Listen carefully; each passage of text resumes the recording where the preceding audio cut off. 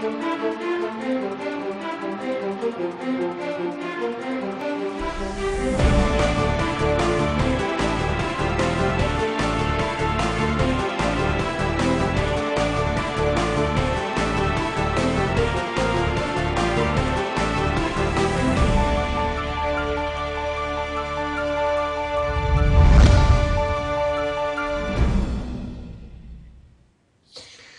بابک زنجانی می‌گوید من تنها در ویترین گروه بزرگی قرار داشتم که آنان مسئول چپاول ده ها میلیارد دلار از بیت المال هستند.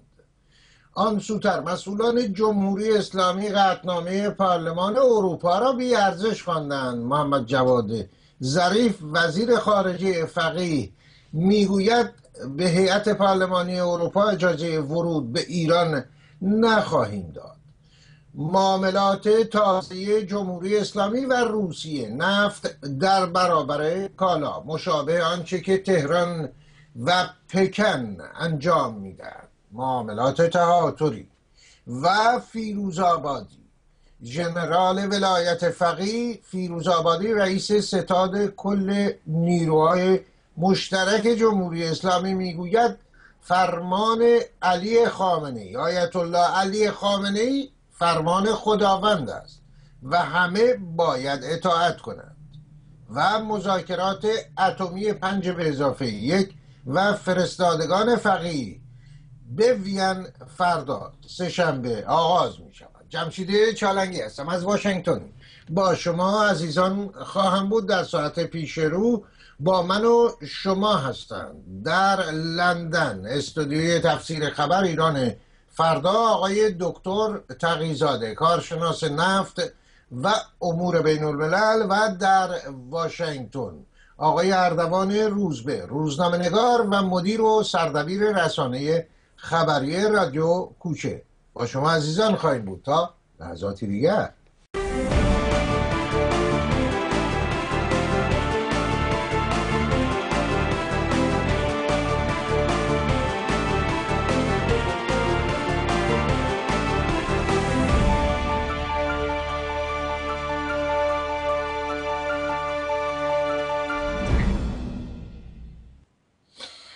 آقای تقیزاده عزیز سلام و درود به شما از واشنگتن بارانی.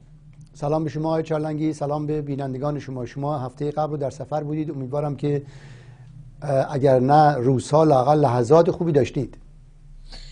امیدواریم سال خوبی برای همه بینندگان ما همه مردمان جهان باشه برای همه پاکتلان جهان. به اتفاق شما به آقای اردوان روزبه نیز سلام میگیم و خوش آمد به این برنامه. من سلام می‌کنم به شما به جناب آقای تقیزاده در استودیوی لندنتون و همچنین به مردم عزیزی که این برنامه رو می‌بینن. چون من مطمئنم که ما بعد از نوروز دیگه با هم صحبت نکردیم و در برنامه نبودیم. پس در نتیجه اگرچه با کمی تاخیر ولی نوروز رو هم به تمام سرزمین هایی که نوروز رو جشن می‌گیرن تبریک میگم. همچنین.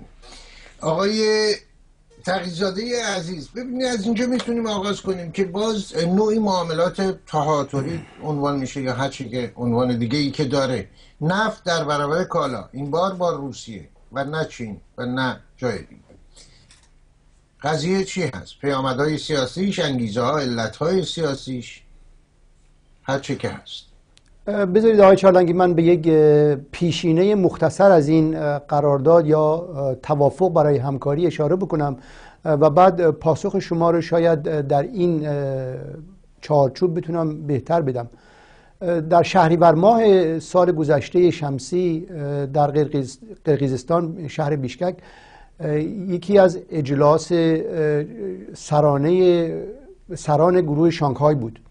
در حاشیه این کنفرانس که کنفرانس امنیتی است ولی عملا کار اقتصادی انجام میده آقای پوتین و آقای روحانی نشستن به گفتگو و سر یک توافق کلی برای مبادلات تجاری بازرگانی با هم گپ و گفت داشتن. خب یک محورهای کلی هم تعیین شد برای اینکه در چه زمینهایی بتونیم با همدیگه کار بکنیم. ولی قرارداد خاصی امضا نشد. این در لفظ تجاری شاید به نوعی توافق اولیه بود که بایستی بعدا موافقت اصولیش جلب می‌شد. این قضیه بعد از اینکه آقای روحانی به تهران و پوتین به مسکو رفت عملا فراموش شد. ولی در حدود دو هفته بعد از ماجرای اوکراین وقتی که آمریکایی ها فشار زیادی به روسا می آوردن و جامعه اروپا در مقابل روسیه موضع گرفته بود آقای پوتین تلفن برمیداره با آقای روحانی صحبت می‌کنه. و در این ابتکار مکالمه تلفنی موضوع توافقهای کلی که در بیشکک انجام شده بود دوباره مطرح میشه و رسانه های مربوط به جمهوری اسلامی فریاد می‌کنن که این قرارداد همکاری حالا در شرف اجراست. همزمان آقای زنگنه وزیر نفت جمهوری اسلامی هم دو سفر به روسیه داره و پیرامون فروش نفت با اونها صحبت می‌کنه. خب ایران فکر می‌کنه که می‌تونه ظرفیت تولید نفتش رو افزایش بده ولی در چارچوب توافق اتمی موقت حد محدودی برای صادرات ایران در نظر گرفته شده و بازارهای محدودی برای فروش نفت ایران باقی مونده.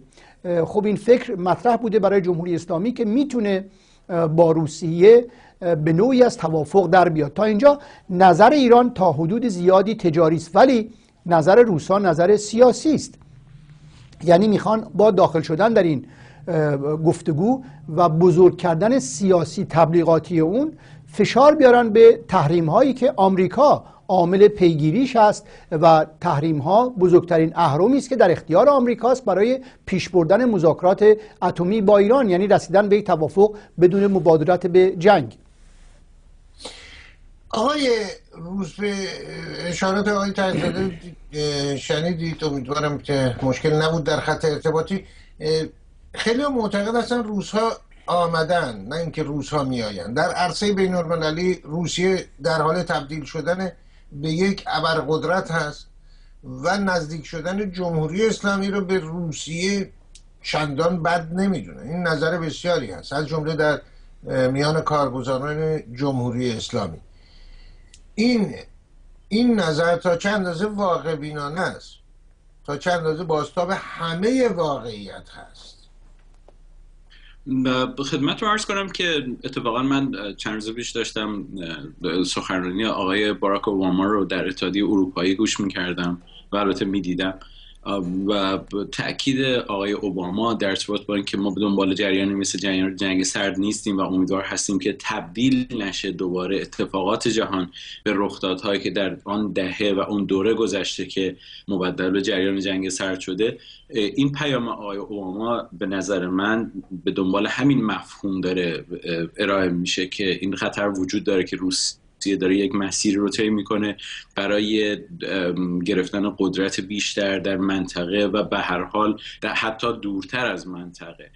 فراموش نباید کرد که شوروی سابق کشوری بود که تقریبا به خاطر گستردگی عرصه جغرافیاییش و جمعیتی که درش بود و اون مدل اداره حاکمیتی که داشت همیشه یک خطر برای غرب بود و خب می‌دونید که تجربه های مثل افغانستان و مواردی از این دست هم غرب رو همیشه میترسون برای اینکه این کشور خیلی از رفتارهاش غیر قابل پیش بینی بود بر اساس پروتکل های بین المللی سیاسی و توافق های نظامی هم حتی نبود. و هم میشه اون رویارویی بین این دو گروه یعنی در برابر ناتو پیمان ناتو پیمان ورشو و مواردی از این دست و اتفاقاتی که در جنگ سرد افتاد همیشه جهان رو نگران می‌کرد از اینکه اقتدار روسیه می‌تونه تا چه حد به نفع دنیا باشه.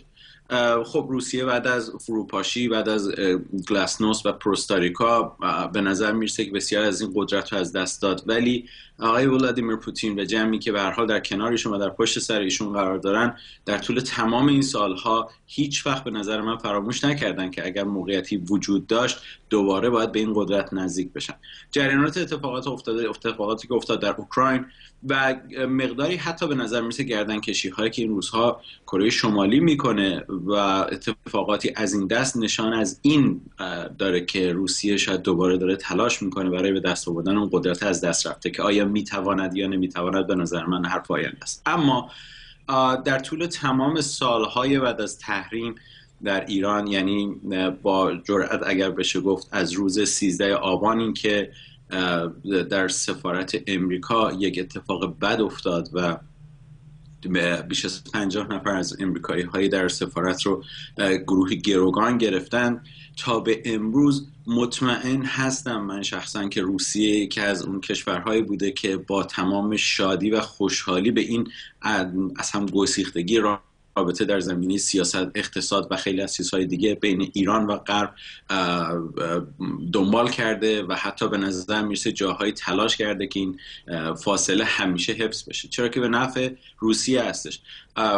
ایران یک خط واصل خیلی خوب به خلیج فارس هستش. ایران یک متحد خوب می‌تونه باشه در منطقه با توجه به حضور ایالات متحده در کشورهای سمت یمین و یسار ایران یعنی در افغانستان و در عراق و همچنین حضور آمریکا در منطقه و در کشورهای حاشیه خلیج فارس.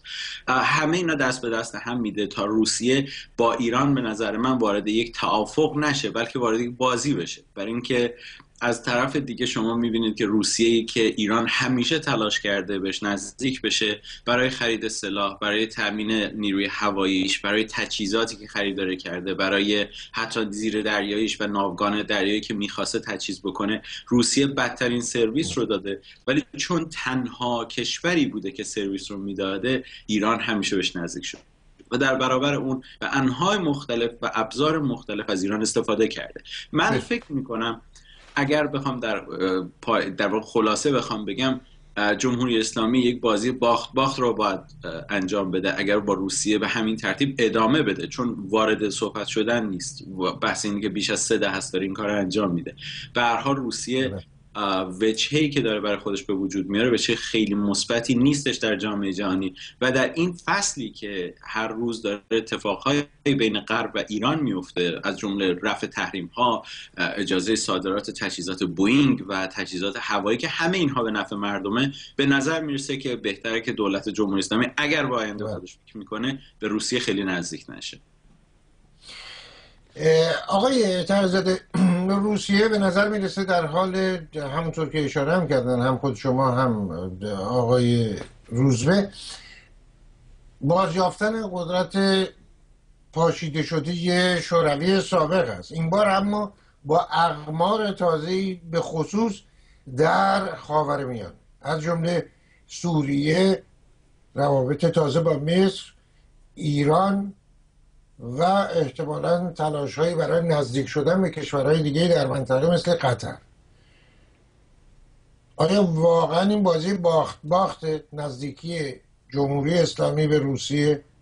اونطور که آقای روزبه اشاره کردن یا خیر یک استراتژی جدیدی در حال شکل گرفتن است در جهانی که تا در قرن بیستم عادت کرده بود به دو ابرقدرت و روسیه در حال آمدن و اشغال مقام یا موقعیت ابرقدرت دوم است. پیش از انقلاب آقای چالنگی روسا با نگاه تردید به ایران چشم داشتند برای اینکه ایران رو متحد سنتی و استراتژیک آمریکا می‌دونستن و در جبهه غرب و عضویت ایران رو در سنتو به عنوان یک عامل اساسی سیاست پیمان ناتو برای دربر گرفتن روسیه پیمانی که باید در کنار ناتو و در کنار سیتو یک خط طولانی برای مهار شوروی رو ترسیم می‌کرد. بعد از انقلاب این رویه همچنان وجود داشته ولی منکر این واقعیت نمیشه شد که روسا و ایرانی ها یعنی وارثین اتحاد شوروی سابق و ایران دو قدرت محلی هستند و دو کشور همسایه هستند البته تا زمانی که آبهای خزر تقسیم نشده این وضعیت بین ایران و روسیه نظر حقوقی حداقل مستاق داره. خب دو کشور بزرگ در منطقه باید با هم همکاری بکنن. ولی رنگ رقابت بین ایران و روسیه همیشه قویتر از رنگ همکاری بوده. بین لد همیشه سیاست هایی که به خصوص جمهوری اسلامی در ارتباط با روسیه اتخاذ کرده منهای نفوس های قابل ملاحظه ای که روسیه در درون هیئت حاکمه در ایران بعد از انقلاب داشته مقداری عکس عملی بوده واکنشی بوده و نه حالت طبیعی. اون که شما بهش اشاره کردید یعنی قضیه مبادله نفت با کالا یک نمونه بسیار روشنشه. واقعیت این است که اقتصاد ایران با اقتصاد روسیه اقتصاد مکمل نیستن. بنابراین اصلا نمی‌تونن با همدیگه همکاری داشته باشن که توجیه بکنه اون چیزی رو که نفتی های ایران اعلام می‌کنن در اختیار گذاشتن 500 هزار بشکه نفت در اختیار روسیه و گرفتن کالا. در راه این توافق اگر شکل توافق پیدا بکنه و اجرایی بخواد بشه موانع متعدد وجود داره که در انتها داخل شدن در اون به زیان ایران خواهد بود. و ضروری است که این زیان ها رو ما یادآوری بکنیم. منها اینکه روسا شریک مورد اعتمادی در مقابل ایران به خصوص تا دو سه دهه گذشته نبودن من جمله تعللی که در اجرای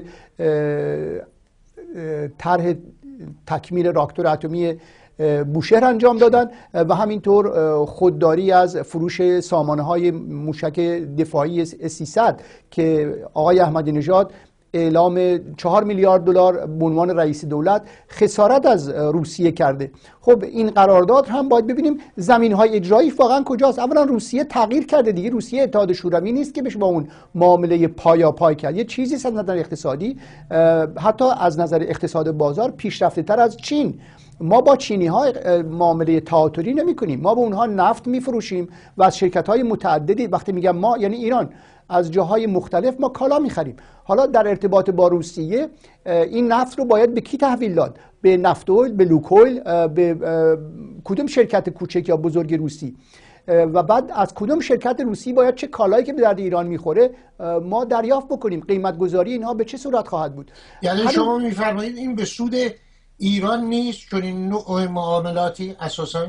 اول می‌خوام بگم که عملی نیست و بعد می‌خوام بگم حتی اگر به زور بخوان عملیش بکنن به زیان ایرانه. برای اینکه دو, دو کشور بزرگ نفتخیز شما تصور کنید که روسا و سعودی ها می‌خوان در مورد نفت با همدیگه همکاری بکنن در حالی که اونها با هم رقیب نفتی هستند وضعیت اسفبار امروز نفت ایران وضعیت استراریه ما به عنوان یک تولید کننده و به عنوان یک صادر کننده بزرگ نفت در رقابت با روسیه در گرفتن بازارهای نفتی هستیم. چطور میشه وقتی که ایران ظرفیت صادراتش فقط یک میلیون بشکه هست 500 هزار بشکه یعنی 50 درصد از این ظرفیت رو یا معادل 50 درصد این ظرفیت رو بخواد با یک رقیبش در بازار شریک بشه؟ و بعد وقتی می‌خواید این معامله رو انجام بدید ابزار کار شما کجاست؟ این نفت رو چطور و از چه راهی به روسیه تحویل می‌دید؟ یک خط لوله وجود داره از نکاب ساری و از ساری به تهران وصل میشه که این ظرفیتش در بهترین شرایط 100 هزار 100 هزار 110 هزار بشکه بوده. آقای ترزده شما بهتر از من می‌دونیم این نفت رو ممکنه از خلیج فارس شرکت های روسیه یا دلال های شرکت های روسی بخرن در نفت کشور خب ببرن در این مورد هم توضیح هست. بازار جهانی بفروشن. در این مورد هم توضیح هست. بله بفرمایید. همین من برای روشن شدن موضوع. از اون برم ایران یا جمهوری اسلامی در واقع میبخشید. بگه ما این نفت و 500 هزار بشکری که میدیم مثلا لوازم یدکی توپولوف می‌خوایم و چیزایی از این قبیل. نه موضوع به روی کاغذ می‌تونه به همین سادگی باشه که شما اشاره می‌کنید. ولی عملا موضوع بسیار پیچیده و دشواری است. یکی اینکه حجم مبادلات تجاری ایران و روسیه در طول یک سال گذشته از یک میلیارد دلار بالاتر نرفته. در چه فرصت زمانی میشه این حجم رو به چهل میلیارد دلار بین دو کشوری که اقتصادشون اقتصاد مکمل نیست افسود روسا و ترک ها با همدیگه اقتصادشون مکمله. یعنی روسا گاز و نفت به ترکیه تحویل میدن کالاهای مصرفی و خوراکی هم از ترکیه تحویل می‌گیرن. ولی اقتصاد روسیه و ایران مکمل همدیگه نیستن. ما می‌تونیم نفت 500 هزار بشکه برای صادرات داشته باشیم. یکی اینکه تحویل به روسیه کار غلطیه. برای اینکه بازارهای ما جای رقابت مشترک ما رو داره. دو اینکه ابزار انتقال کار رو نداریم. و با این وجود افزودن حجم مبادلات بین دو این کشوری با این طبیعت که من اشاره کردم از یک میلیارد دلار به چل میلیارد دلار یعنی چهار هزار درصد افزودن حجم مبادلات تجاری که می‌تونه این کار واکنشی باشه. و زمانی که ایران خاصیت کنونی وضعیت محیطی از دست رفت رو شاهد بود. از اینجا برمیگرده ایران که همیشه این وضعیت برش حاکم نیست. وقتی که بازار طبیعی پیدا کرد چطور باید همچنان کالای اسقاطی روسیه رو بگیره و به رقیب روسیهش نفت بفروشه؟ شما گفتید که این نفت رو از خلیج فارس ممکنه تحویل بدن. بله ولی با کدوم پرچم این نفت حمل میشه؟ در کدوم بازار که متعلق به ایران هست یا نیست؟ مصرف میشه و چطور میشه تحریم های اتحادیه اروپا و تحریم های بانکی بانکی و تحریم های بیمه رو دور زد. اینها مشکلاتی است که هم جمهوری اسلامی هم روسیه از اشاره به اونها پرهیز می‌کنن آقای روزبه عزیز البته آقای تغذیه پرسش ها بسیار در این زمینه از جمله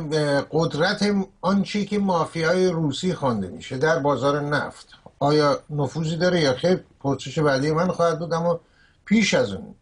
آقای اردوان روزبه عزیز چرا فکر می‌کنید که حکومت روسیه. دوست قابل اعتمادی نیست بازی باخت باخت.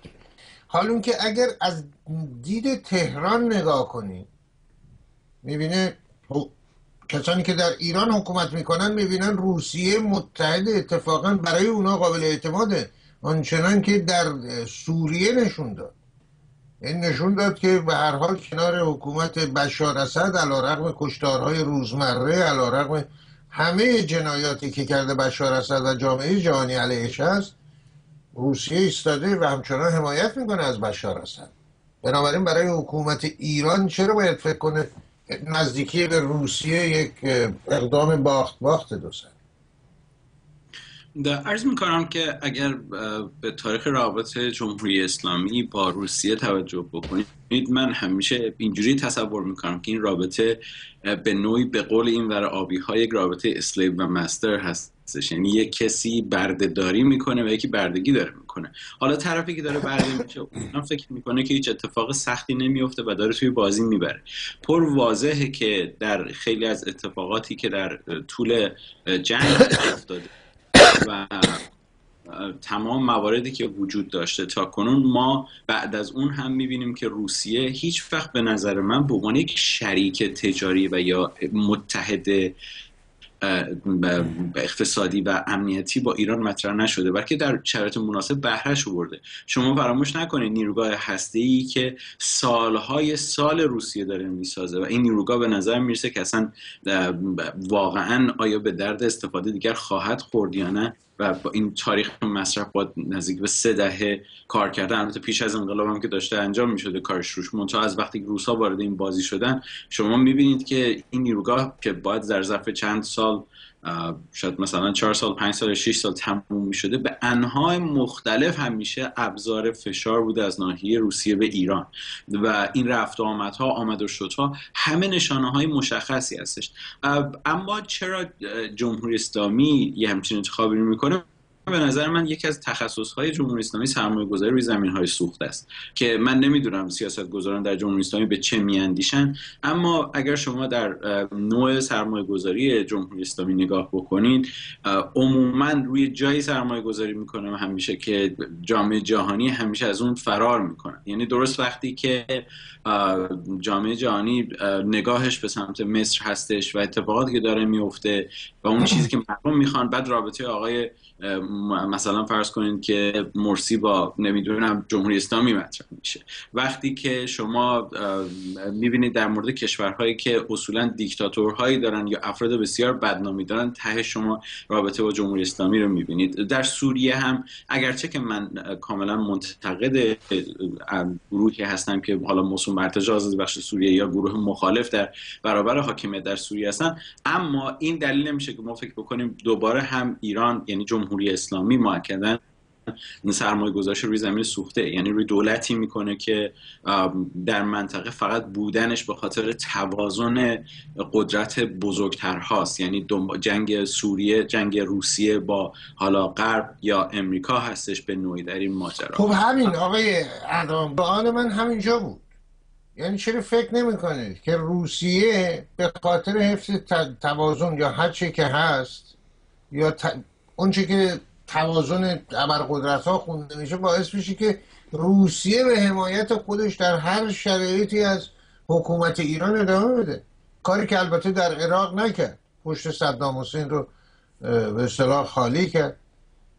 چرا؟ چرا فکر نمی‌کنید چنین کنه روسیه تا پای همدستی در کشتار مردم؟ به طور غیر مستقیم. اونچه که در سوریه متهم است. در ایران هم در کنار جمهوری اسلامی بیسته روسیه آقای چالنگی هیچ وقت به دنبال به نوعی برنامه‌ریزی دراز مدت برای جامعه جهانی به نظر من و به شکل مثبتش نبوده. این تجربه روشنی است که جامعه جهانی از این قضیه داره. اگر در غرب امروز حتی تصور کنیم بعضی از رفتارها رفتارهای سوری هم باشه اما به طور کلی به دنبال مفاهیم مثبته. یعنی اینکه جلوگیری از نمی‌دونم خیلی از اتفاقات یا همراهی و همدلی برای مثلا فرض کنید جلوگیری از کشتار مردم و چیزی از این دست. این رفتارهایی که اصلا شما از در کل نه در پشت و نه در جلو هیچ وقت از روسیه نمی‌بینید یه همچین چیز رو. روسیه یقینا با چیزی که من حداقل در طول به شخصی من در طول این سه دهه گذشته از حضور روسیه در رابطه با ایران دارم می‌بینم درست کاملا رفتارش به نوعی است که تا جایی که لازم باشه از ایران حمایت خواهد کرد ولا غیر. یعنی تا جایی که منافع کلیش برای سیاست گذاریش و برنامه ریزی جامعه جهانی و کاری که می‌خواد روبروی دنیا غرب بکنه ضرورت ایجاب بکنه قطعا از ایران حمایت خواهد کرد. ولی همین روسیه من یقین دارم با توجه به رفتاری که از پیش از این داریم ازش می‌بینیم کاری که داره می‌کنه شما همونجوری که اشاره نکته مهمی است. روسیه پشت صدام حسین رو می‌کنه. در طول جنگ ایران عراق روسیه به زعم من یک بازی دو دوزه رو انجام میده. یعنی از اون بله. طرف در حالی که میکاش در عراق پرواز می‌کنه و تجهیزات نظامیش وارد عراق میشه در این طرف ایران رو حمایت می‌کنه. و اینا همه مفاهیم خیلی روشنی است که روس ها اون بازی رو انجام میدن که به نفع خودشون و تعریف شده در سیاست گذاری کلیشون و اون چیزی که حالا به اصطلاح میگن توی اون پولیت برو هستش. یعنی اون چیزی که توی پولیت برو تعریف میشه. میشه. اصولا معناش این نیستش که ما حمایت تام می‌خوایم از ایران بکنیم. معناش این تا کی منافع ما ایجاد می‌کنه که ما با ایران همکاری بکنیم. البته این سیاست مبارکی است به نظر من به جهت اینکه روسا به که منافع خودشون هستن. من نمی‌تونم راجع به روسا نظر بدم ولی می‌تونم بگم که اگر کسانی که حاکم دست حاکمیت جمهوری اسلامی در دستشون هست اندکی با آینده خودشون و به شرایط مردمشون بخوام بیاندیشن کمان که من وقتی دارم می‌بینم که امروز حالا چهار سرباز ایرانی آزاد میشن شما می‌بینید بله. به منافع خودشون هم در ادبیاتشون در ویششون و مسائلشون از این دست پس فکر می‌کنم اگر اینا اندکی به آینده خودشون و حالا به نوعی به آینده مردمشون بخوان فکر بکنن با روسیه سعی می‌کنن در یک قرارداد همتا قرار بگیرن. یعنی اجازه ندهن روسیه سوار اینها بله. بشه. وگرنه روسیه که در هر زمانی لازم باشه مطمئن باشید برای آزاد کردن این رابطه و از بین بردن این رابطه فقط کافی به قول قدیمی های دکمه رو بزن و تموم میشه برای خب شما در واقع به حکومت روسیه گفتین نمی‌تونید نصیحت رو توصیه کنین ولی خب جمهوری اسلامی چرا؟ میشین نصیحت توصیه. والا به دلیل که روسیه که حالا من چه می‌دونم آقای پوتین اصولا تجربه منظورم اینه که شما گفتین نمی‌تونید نظر بدید ولی خب نظر دادید پوتین هر زمان که هر روزنامه نگاری باشه این موضوع یه مقدار جدی صحبت کرده بعد جنازش پیدا شده. البته ما خوشبختانه چون این برای آب هستیم هنوز دست جمهوری اسلامی به این برای آب نمی‌رسه ولی به طور کلی دارم میگم که فارغ از مزا جمهوری اسلامی باید بدونه که یعنی روی صحبت به روسیه نیست. روی صحبت بینی که جمهوری اسلامی که به عنوان برده داره سالهای سال برای روسیه کار می‌کنه با تصور اینکه روسیه حمایتش می‌کنه باید بدونه که هر زمان ضرورتش بشه روسیه خیلی راحت دست از سر جمهوری اسلامی خواهد برداشت بله و اما به سراغ ما آنچه که مافیای روسی خونده میشه های دکتر تقیزاده آیا قادر نیست؟ این معامله تئاتری معامله نفت در برابر کالا رو ساماندهی کنه. در بازار درسته که مرتب اما گاه آشفته نفتی به خصوص در منطقه نفت خلیج فارس. نگاه روسیه به مناسبات خارجیش با توجه به اولویت هایی است که برای خودشون در نظر گرفتن و این اولویت ها باید در حد اکثر ممکن منافع ملی اونها رو تامین بکنه. در این ارتباط در این چارچوب روسا به مناسبات با آمریکا اهمیت بسیار زیادتری میدن تا طبیعتا مناسبات با ایران. به جامعه اروپا همین اعتبار رو میدن در مقامی متعادل با آمریکا. بنابراین شریک های طرف گفتگوی غیر همگنشون که همگنها از نوع خودشون چینی ها هستند در جهت تأمین منافع قرار می‌گیره و کشورهای کوچکتر مثل ایران همیشه وچ المصالحه این منافع بزرگتر بودن این نگاهی است که آمریکا هم امروز به ایران داره. روسا بر سر ایران همیشه هم موضعی و موردی عمل کردن و هم از ایران به عنوان ابزار برخوردشون برخورد ابزاری بوده. آمریکایی ها وقتی که می‌خواستن سیستم دفاع موشکی جمهوری چک و لهستان رو بر بچینن این بعد از توافق کلی است که با روسا صورت می‌گیره. روسا تا کنون در مذاکرات اتمی آمریکا رو یاری دادن برای اینکه تونستن امتیاز مناسب از اونها بگیرن. همین روزها با ایران در یک جنگ که شما اشاره کردید جنگ داخلی در سوریه همراه هستند. در این مورد یک پروژه مشترک دارن که این کاملا متفاوت با داشتن همکاری جامع و قرار گرفتن در محور یک همکاری استراتژیکی که با اعتماد متقابل باشه و همه جانبه باشه. روسا در شروع دولت یلسین با ایران بر سر تقسیم آبهای خزر سیاست مشترک داشتن. ولی دو سال بعد این سیاست گرایش بیشتری پیدا کرد به آذربایجان و بعد قزاقستان و حالا ترکمنستان رو هم به خودشون نزدیک کردن. بنابراین کاملا از ایران در ارتباط با یک بخش حیاتی امنیت ملی ایران جدا شدن. روسا به این علت همکار تمام ایار و قابل اعتماد برای ایران نمی‌تونن باشن. ولی به هر حال چون ایران کشور بزرگی است و بخشی از منافع روسیه اینجا قرار داره همیشه سعی در افزایش نفوذ قدرت داشتن عوامل قدرت رو هم دارن و این عوامل قدرت فقط در درون بخش چپ سیاست داخلی ایران نیست. مناسبات تازه با روسیه رو آقای رفسنجانی شروع کرد. ولی سیاست... نکته این آقای پرسش من مشتفه بر اینه. معامله این نفت در برابر کالا شما اشاره کردید که امکان پذیر نیست. پرسش من این هست. اون که مافیای روسی خونده میشه و قدرتش در عرصه اقتصادی در بسیاری از جا عیان شده آیا قادر نیست این معاملات نفتی ایران رو یعنی 500 هزار بشکه که کردن غیر ممکنه بتونن بازاریابی کنن برای ساماندهی کنه؟ در کنار قدرت رسمی و علنی دولت روسیه. امکان هست که بخشی از این توافق عملی بشه. یه مقدار محدودی برای زمان گذرا ایران نفت تحویل روسا بده و بابتش هم مقداری کالا بگیره و تهدید کنه که این چارچوب رو به رشد و این قرارداد رو به افزایش این کاری است که ایران با ترکمنستان هم انجام می‌داد و مقداری نفت از ترکمن ها می‌گرفت. در پالایشگاه تهران و تبریز اون رو پالایش می‌کرد و از محصولات نفت ایران در جنوب به ظاهرا به اسم ترکمنستان تحویل می‌داد و میفروخت از این بابت درآمدی هم داشت. ولی این قرارداد چون شکل طبیعی نداشته یا ایران اون رو به اون صورتی که اجرا می‌شد در جهت منافع و مسائلش نمی‌دیده الان چهار ساله که تعطیل شده. یعنی از سال دوم دولت آقای احمدی نژاد سال انتهای سال اول تا کنون قرارداد مبادله نفتی با ها رو هم ایران عمل نمی‌کنه که اندازش بسیار محدود بود. در بیشترین شرایط به روزانه 100 هزار بشکه در روز هم نرسید. حالا دو کشور همسایه هستند که می‌تونن این کارو با هم انجام بدن.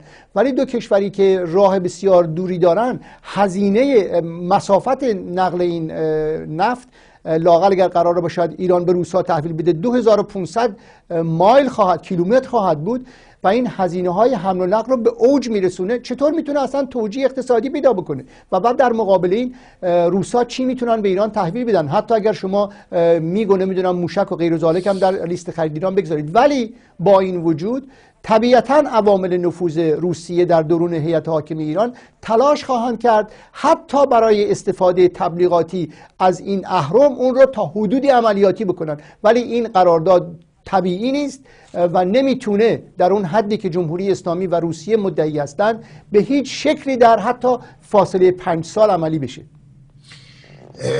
آقای روز به فردا مذاکرات اتمی آغاز میشه دور تازه آقای ظریف وزیر خارجه جمهوری فقیه هم به ویان به وین اومده. الان بعد از اوضاع اوکراین و وضعیت کریمه بینندگان ما همه در جریان هستند بی تردید. گفته می‌شد که سایه رویدادهای اوکراین بر مذاکرات ایران و پنج به اضافه یک اثر خواهد گذاشت. سایه خواهد افکند به قول علما.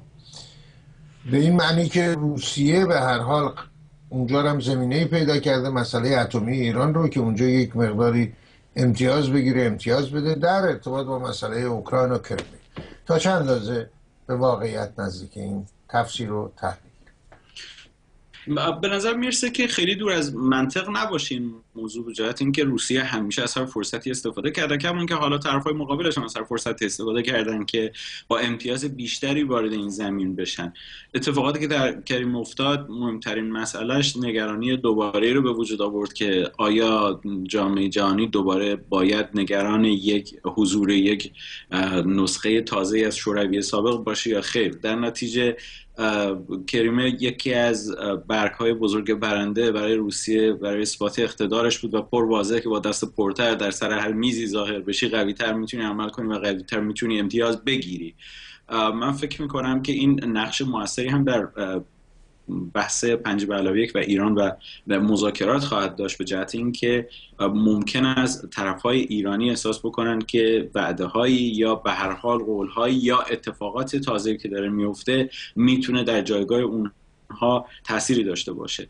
در طول ماهای گذشته جمهوری اسلامی تمام سعیش رو کرده که به هر صورتی امتیازهایی که باید بده اگرچه داره میده ولی سعی می‌کرده که با کمی دست پرتر وارد بشه که هزینه کمتری بخواد بده. ممکنه در شرایط فعلی اگر به نفع روسیه باشه کارت هایی رو در اختیار ایران قرار بده برای اینکه این مذاکرات بتونه شاید جهتش در شکل مناسبتری برای ایران قرار بگیره. اما من فکر می‌کنم در نهایت جمهوری اسلامی باید این رو بدونه که فصلی که پیش رو هست باید با تمام تلاش سعی بکنه زودتر به برسه. به جهت اینکه ما اقتصاد لرزانی داریم. پایه های سیاسی کشور اگرچه که دولت تازه به حال وعده ها و تلاشایی رو کرده یا داده به مردم که اینا عملی خواهد شد یا خیر چیزی که در آینده معلوم میشه بیشتر. اما در نهایت وضعیت اقتصادی کشور وضعیت نفت در ایران وضعیت فروش کالا وضعیت واردات صادرات و خیلی از اتفاقات دیگه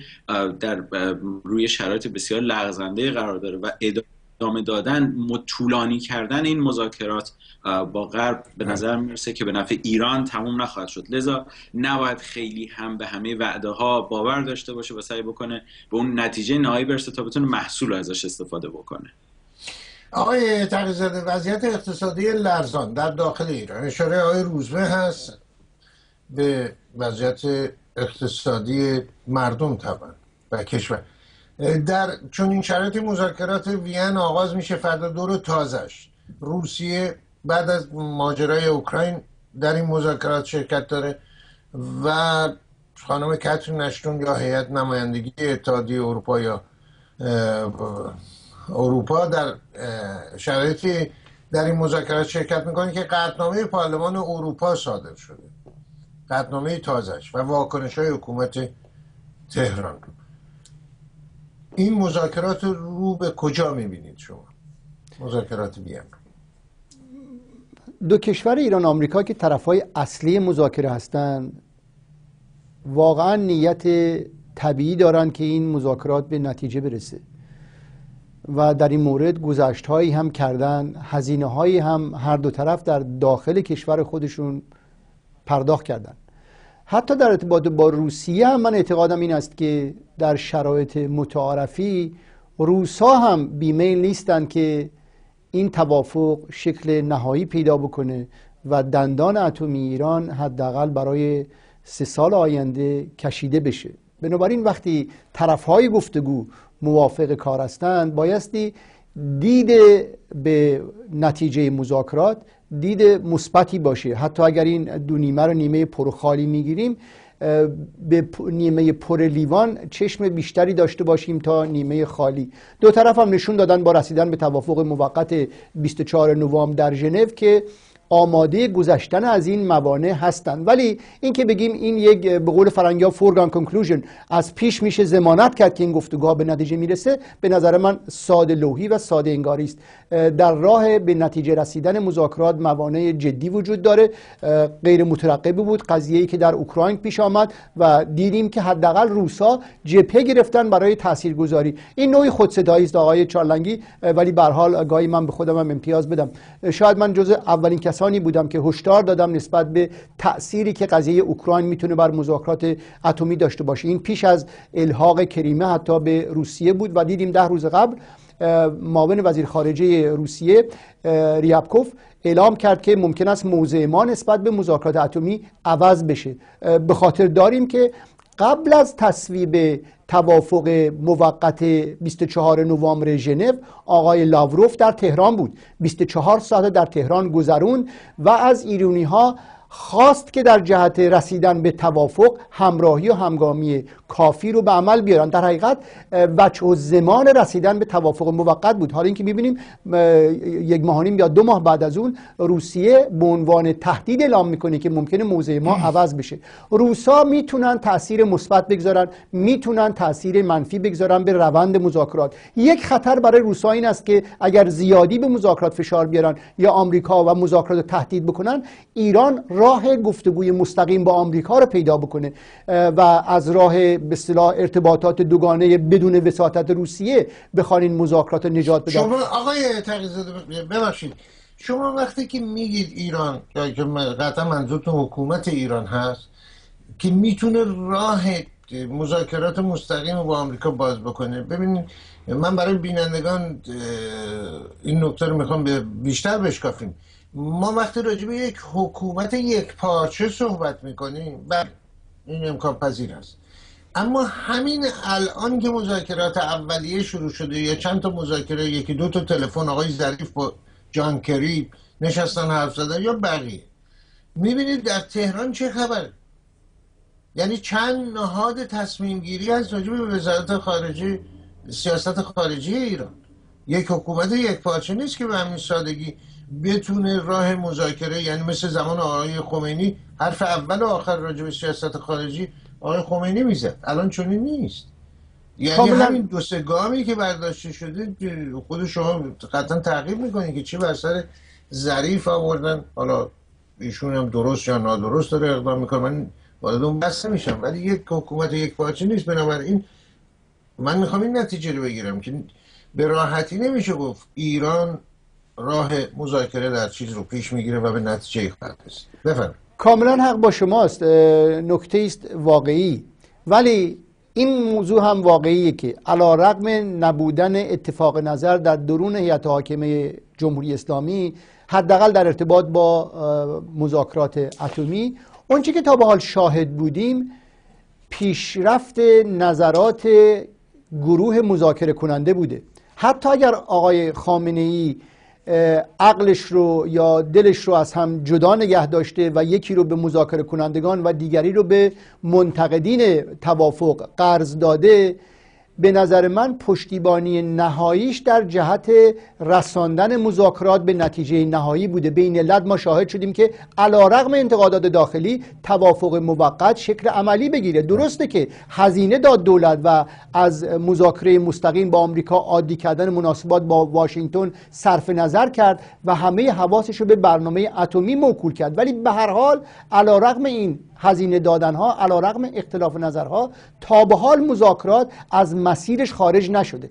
همه تهدیدها صورت گرفته مجلس فشاراش آورده قطنامه و بیانیه صادر کرده. سپاه پاسداران فریاداش زده ولی مذاکرات در مسیر بوده. بایستی امیدوار باشیم یا حداقل امیدوار باشیم که این مذاکرات در همین مسیری که هست ادامه پیدا بکنه و به نتیجه برسه. این زیانهای مردم ایران رو در کوتاه مدت کاهش میده. بله. در همین مسئله یکی از نمایندگان مجلس هست یه مسئول دیگه یا مقام دیگه حکومت ایران که گفته که بعضی ها دشمن را پررو کردن. قضایه به همین حد چون این صحبت هم کشیده شده. و خیلی خوب حملاتی هست علیه این سیاستی که این دولت حجت الاسلام و المسلمین آقای روحانی در پیش گرفته. در برابر غرب. اما اشاره کردن اقتصاد لرزان آقای روزبه عزیز. اقتصاد لرزان اگر بر سفره مردم پیامدهای خودش رو هر روزه نشون میده و هر شب و روز اما در جای به طور کلی لرزان نیست. ستونهای حسابهای بانکی چنان محکم و مستحکم هست که هیچ طوفانی هم نمی‌تونه به راحتی اونها رو پریشان کنه و لرزان کنه مگر دادگاه های عادلانه ای که رسیدگی کنه به چنین چپاول ها و قارت های از جمله آنچه که بابک زنجانی مربوط میشه. آقای بابک زنجانی اخیرا گفته که من یک گروه بزرگ پشت سر من هست و من ویترین این گروه هستم و نبیش اقتصاد ایران های دوگانه نیست؟ دو سمت نداره یک سمتش بابک زنجانی ها رفسنجانی ها بیت رهبری سمت دیگه سفره خالی مردم کودکان دروازه غار که به فروش میره فکر می‌کنم آقای زنجانی حرف کاملا درستی رو در زندگیش زده. حالا من نمی‌دونم در گذشته چون راست می‌گفته یا نه ولی اون چه که الان میشنم ازشون حتما حرف درست و صادقانه ای هستش.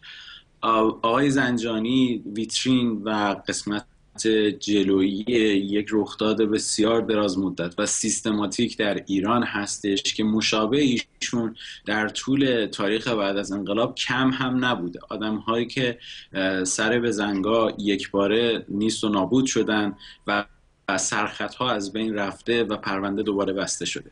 در بخشی از این اتفاقات همیشه توجیه این تولد این آدم ها و دست به دست شدن مسائل آدم ها بعضی از آدم ها پشت صحنه این بوده که چون ما در تحریم هستیم مجبور هستیم تحریم ها رو دور بزنیم.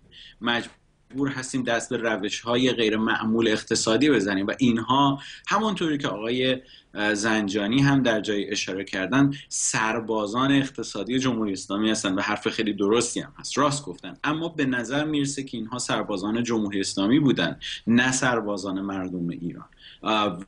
و اگر اندکی هم نسبت به آنچه که می‌کردن اگر تعهد واقعی میداشتن قاعده قضیه بر این بود که اگر این سربازی قرار بوده خدمت بشه پولی به جیب اینها نباید می‌رفته. ولی تمام آنچه که ما می می‌بینیم. این هستش که در دوره آقای جزایری در دوره ایشون و امثال ایشون آدم هایی هم که حتی در خارج از کشور با اینها کار می‌کردن. نظیر آقای رضا زهراب و دیگر افراد که کم هم نیستن. اینها آدم هایی هستن که در نهایت در هر کسوتی که ظاهر شدن آنچه که تمام شده به نفع جیب اونها بوده و نه به نفع مردم.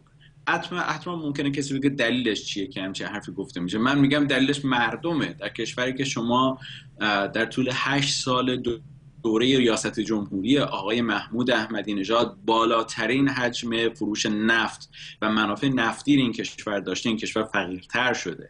و امثال آقای زنجانی وقتی در مورد بدهی چند میلیاردیشون به شرکت نفت صحبت می‌کنن میگن رقم زیادی نبوده. اینها تعریف های خیلی روشنی است که ما از بروندهش می‌تونیم بکنیم. اقتصاد اقتصاد لرزان دقیقا نشانه هاش امثال آقای زنجانی و کسانی است که پشت سرش قرار دارن. اقتصاد اگر رقابتی باشه و عناصری در این اقتصاد رقابتی نقش کلیدی بازی بکنن و سرمایه هاشون وارد چرخه اقتصاد بکنن ممکنه اونها قولتر و قولتر بشن. اما چیزی که اتفاق میفته اینه که در این چرخه اقتصادی مردم هم بهرهمند میشن.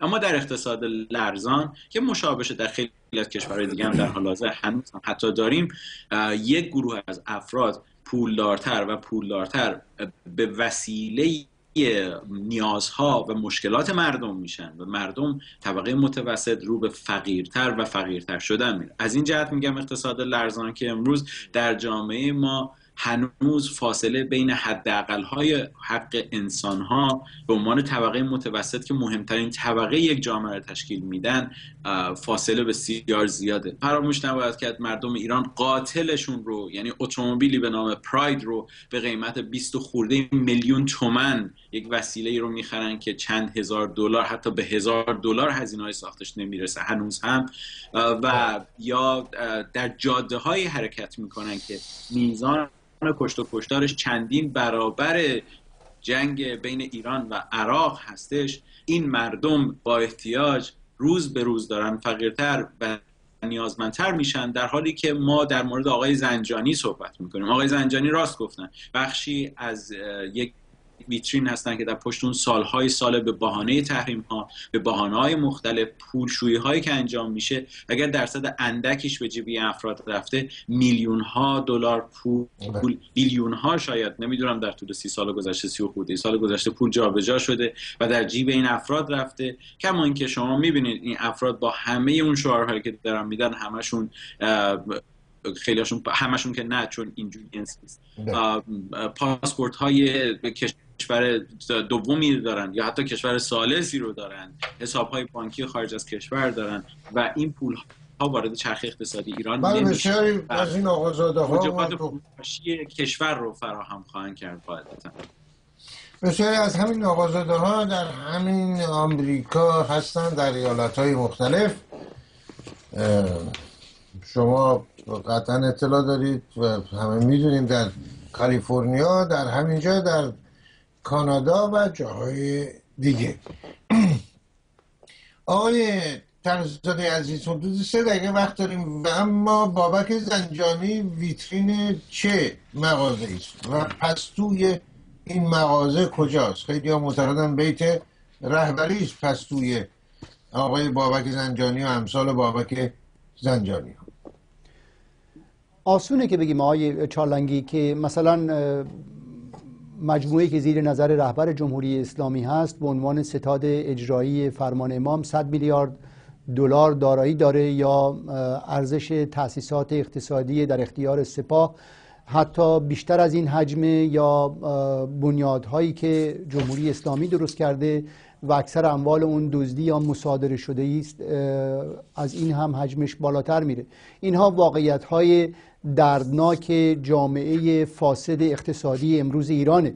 جامعه ای که فساد رو از سطح پایین ترین سطح اداری میشه درش دید. یعنی شما کمترین کاری رو در هیچ اداره ای نمی‌تونید جلو ببرید مگر اینکه به کارمند رشوه بدید. این توهین به کارمنده ولی واقعیتی است که بایستی اون رو پذیرفت برای اینکه زندگی روزانه اونها با حقوق دولتی که می‌گیرن و تورم چهل درصدی که وجود داره بازگوی نیازهای اونها و تامین کننده نیاز اونها به خرید نیست. ناگزیر از دزدی هستن ناگزیر از رشوه هستن و این از پایین ترین سطح هست با اندکترین میزان رشوه تا بالاترینش که ما می‌بینیم رشوه های چند میلیاردی گرفته و داده میشه و نتیجهش تولد آدم است مثل همین جوانک آقای بابک زنجانی که حالا در زندان و نظیر او ده ها نفر با همین اندازه های ثروت هستند که هم شناخته شده نیستن و نمی‌خوان شناخته بشن. هنوز در ایران هستند و اونها همچنان به این حلقه فساد کمک می‌کنن. ولی دردناکتر از اون چه که اشاره کردم یعنی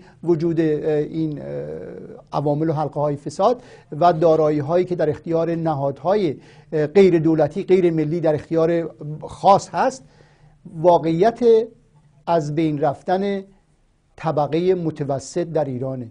بله. هیچ اقتصاد پویایی در دنیا آقای چارلنگی نمی‌تونه دوام بکنه اگر در اون طبقه متوسط قوی وجود نداشته باشه و نسبت قدرت اقتصادی بله. کشور رو باید با قدرت گرفتن طبقه متوسط سنجید کاری که آقای احمدی نژاد کرد به این کار دامن زد هدف قرار دادن طبقه متوسط بود و کاهش قدرت اون و بردنش در حد طبقه فقیر جامعه ما امروز جامعهمون به دو قطب کاملا مشخص تقسیم شده گروه فقیر که اکثریت مطلق جامعه هستند و گروه بی اندازه ثروتمند که اقلیت جامعه هستند. یک دریایی بین این دوتا فاصله است و نسبت ها شاید به 95 به نسبت 5 هم نمی‌رسه و طبقه متوسط در حال نابودی در ایرانه. بله. و در مورد آقای بابک زنجانی و بیت رهبری این نکته رو من بگم. آقای بیل گیتس که صاحب مایکروسافت هست و کمپانی های وابسته به اون کامپیوتر و دوستان اهل کامپیوتر بینندگان عزیز می‌دونن یعنی چه خدمت بزرگی به بشریت کردن به تمدن فرهنگ علوم ارتباطات علوم در زمین های مختلف خدماتی که بیل گیتس به بشریت کرده غیر قابل انکار که هیچ اصلا قابل مشاهده است در همه جای دنیا در روستا. ثروت بیل گیتس که بعد از سالها دوباره به اول ثروتمندترین طبق گزارش فورد ثروتمندترین مرد جهان یا انسان جهان شناخته شده کمتر از پولی است که آقای بابک زنجانی به عنوان ویترین یک گروه برداشت کرده از سفره مردم یا بیت رهبری در یک قلمش 95 میلیارد یورو یا دلار یا هر چه که هست اعضایی که من آقای تغییرزاده و آقای روزبه و بسیار دیگه شما عزیزان بینندگان اصلا چون این ارقامی رو نمی‌تونیم حجمش رو تصور بکنیم. حتی کارشناسی مثل آقای تغییرزاده فکر نمی کنم به پایان این برنامه می‌رسیم. با سپاس از آقای تغییزاده گرامی آقای روزوی عزیز در واشنگتن. این گفته آقای فیروز آبادی هم در این شرایط بد نیست تکرار کنیم یا بازتاب بدیم که آقای فیروز آبادی گفته فراخان ولی امر امر ولی امر آیت الله خامنه ای فراخان خداوند است و فرمان خداوند است. به پایان این برنامه تفسیر خبر می‌رسیم. با امید به فردایی بهتر. با برآمدن آفتاب از فراز البرز توچال سند و سبلان آسماری البند کو و کوساران دراک و تابشان بر فلات ایران زمین دلهایتان شاد روزگارتان خجسته.